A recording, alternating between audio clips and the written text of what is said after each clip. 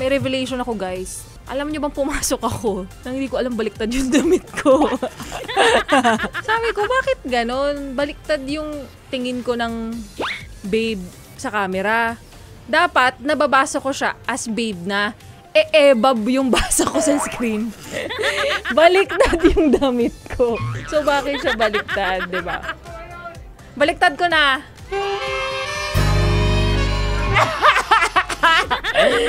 Oh my God, tinatamad ako pumunta ng banyo.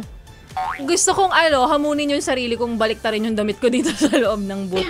Nang walang makikita sa akin. Paano kaya? Layo kasi nung banyo! Teka. Tignan natin kung kaya. Ayan guys, grabe pwede. Oh my God, nagawa ko! Tinatamad na ako magbanyo, nahubad ko na yung damit ko.